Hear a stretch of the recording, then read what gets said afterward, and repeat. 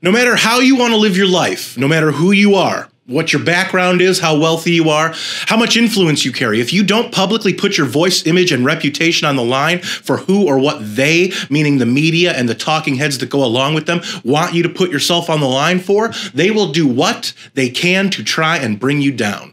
You could be someone who was at one time soaring to the heights of a Michael Jordan, and they'll still come for you if you don't weigh in on politics and social justice. Just another group of parasites. Hey, everybody, thanks for joining me once again on Out of Left Field for MRC TV. I'm Nick Kangadis.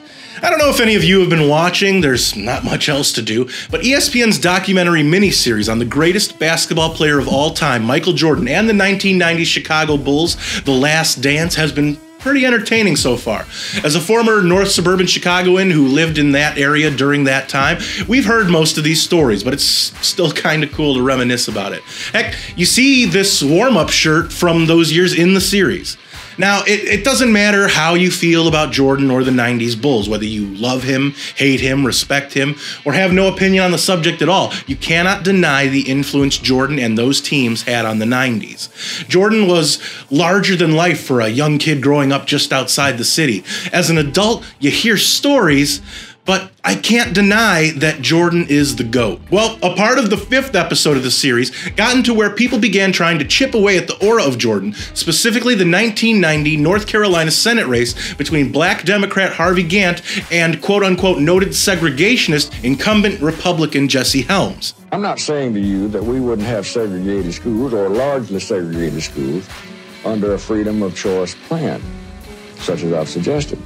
But I will say to you that. Uh, that would be the choice. Because Jordan didn't publicly throw his support behind Gantt, originally being from North Carolina, the documentary sought to throw some shade at Jordan for it, also basically slighting his legacy for not getting more involved in social justice issues.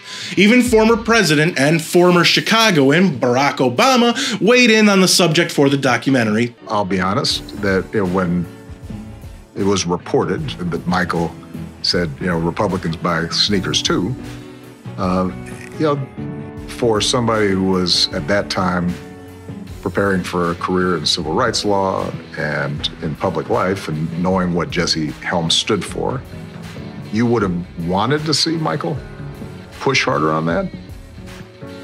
On the other hand, he was still trying to figure out how am I managing uh, this image that has been created around me. Um, and, and how do I live up to it? First of all, and this is just a personal aside, Obama's no real Chicagoan if he refers to shoes as sneakers. Most people in that part of the country say gym shoes, so Obama's Chicago card is revoked. And notice how Obama basically said that it wasn't necessarily Jordan's fault for not speaking out because of trying to protect the image that was created around him, as if to say Jordan had no say in how he was portrayed when it came to his image.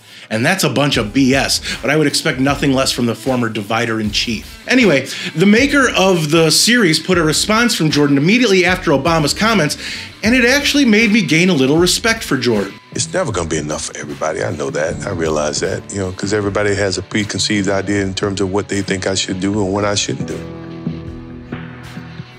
The way that I go about my life is I set examples. And if it inspires you, great. You know, I will continue to do that. If it doesn't, then maybe I'm not the person that you should be following. I couldn't have said it better. It's like watching TV or YouTube videos. No one's making you watch them.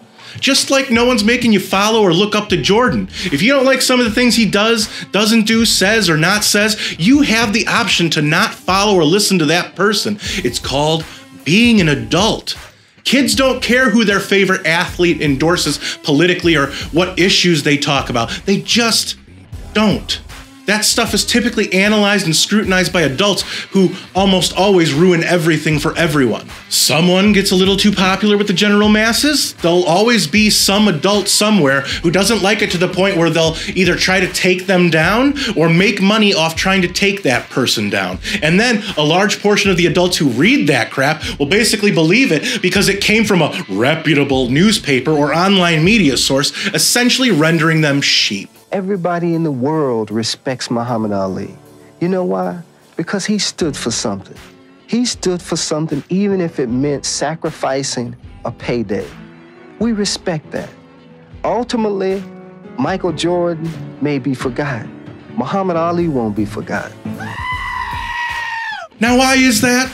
All because Jordan once said during that time that quote unquote Republicans buy sneakers too? I don't think that statement needs to be corrected because I said it in jest, you know, on a bus with, you know, with Horace Grant and Scottie Pippen, and it was, you know, thrown off the cuff. He was chastised for trying to appeal to all people, and whether it was because that's how he genuinely felt or because he was trying to preserve his image so he could make more money, that's up to him. That's his choice, and it was the right one. My mother asked to do a PSA for Harvey Gantt, and I said, look, mom, I'm not speaking out of pocket about someone I don't know, but I will send a contribution to support him, which is what I did. And it's not like Jordan doesn't appreciate the athletes that did and do still speak out, but that just wasn't him. I do commend Muhammad Ali for standing up for what he believed in, but I never thought of myself as an activist. I thought of myself as a basketball player. I wasn't a politician when I was playing my sport. You know, I was focused on my craft. Was that selfish? Probably. But that was my that was my energy. That's where my energy was. And there's absolutely nothing wrong with that. There might be something wrong with that to people that need to make everything about politics because it serves their narrative somehow. Most of these writers and media whores never played sports on any level that mattered. That's why they write about it and others go out and do it. Once my baseball playing and coaching days were over about 10 years ago, I transitioned into another avenue of society politics. Sports can teach you a lot of very valuable life lessons, like baseball taught me, both positive and negative, because of the politics involved behind the scenes, the people who influenced you, and the people who never spoke to you again because you were of no further use to them in sports. Let me sum it all up. Jordan was absolutely right in this case because he stuck to his guns despite pressure from outsiders. They wanted to profit and gain off his name, and he said no. And he was absolutely correct for doing so. If you're good at something and you make a damn good living off that something, why would you venture off and do something that could jeopardize what you've built? Of course, there's nothing wrong with doing other things, but that's up to the individual, not people who barely know you, just looking to use who and what you are and have become. What's your take? Have you enjoyed the Last Dance series? Did Jordan bear some responsibility to speak up politically? Let me know in the comments where I occasionally respond. If you like this video, don't forget to give it a thumbs up and a share. Those are the two best ways to let us know that you want us to keep these videos coming. Subscribe to our YouTube channel and dunk on that notification bell so that YouTube might actually let you know when MRC TV comes out with a new video. Like us on Facebook and follow us on Instagram and Twitter. For MRC TV, I'm Nick Kangadis.